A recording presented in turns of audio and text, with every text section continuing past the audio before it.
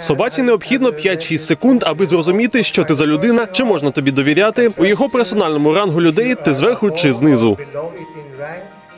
Поділитися своїм досвідом з кінологами та любителями чотирилапих до Кривого Рогу прибув засновник норвезької кінологічної школи Відар Слаатаух. Фахівець знається на вихованні собак вже майже 50 років. А за 10 років існування своєї власної школи виховав більше 2,5 тисяч чотирилапих різних порід. Експерт пробув майже тиждень у міському центрі поводження з тваринами та спостерігав за роботою криворізьких собаководів. А 2 квітня, аби закріпити обмін досвідом, Відар провів конференцію. На неї завітали не тільки працівники із центру поводження з тваринами, а й волонтери, котрі рятують собаче життя у кривому розі та власники розплідників. Говорили про те, як ефективно налагоджувати контакт з тваринами та працювати з проблемними собаками.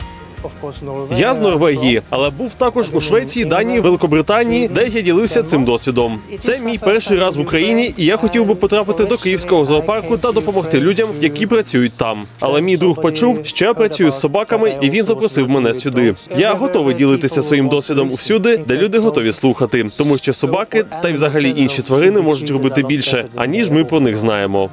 Тимур, досвідчений кінолог Криворізького центру поводження з тваринами, разом з норвезьким експертом провели пліч опліч у міському центрі для чотирилапих майже тиждень. Криворізький кінолог розповів європейцю, як реагують тварини зараз на сирени повітряної тривоги, а також показав, як сам знімає агресію у проблемних собак. Спеціаліст каже, повчитися у норвезького фахівця та поділитися своїм досвідом зайвим не було. Любая информация всегда является полезной, никогда не бывает избыточной. А вот сортировать и использовать то, что есть, и то, что можно получить, это всегда только в пользу. У них идет больше ударение на общение через тело животное. Тобто э, на определенные точки, на определенные э, м- места, э, чтобы с- собаку, э, собака начала доверять человеку, и с и с собакой можно было работать. У нас этим мало кто занимается. У меня люди были в гостях, я показывал работу с собаками, которые приехали по агрессии. Тобто это тот опыт, который, допустим, у них- у них нету. Під час спілкування з'ясувало, що наші кінологи мають окремі стандарти щодо дресирування для кожної породи собак. Натомість західні фахівці користуються єдиними правилами для всіх порід та намагаються приручити собаку з дитинства.